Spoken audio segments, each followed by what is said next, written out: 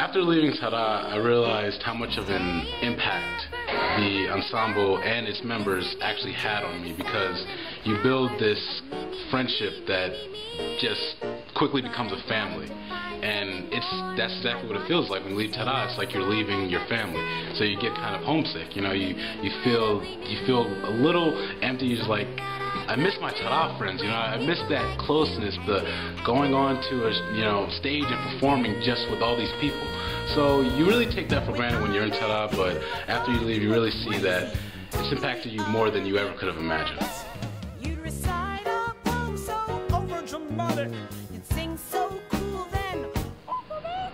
One thing that I do miss about Tada is having a second family.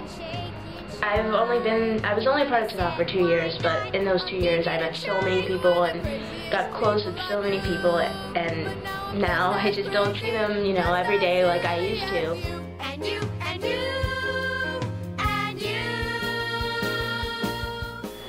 Something that's incredibly unique about Tada is that it's everything in one place.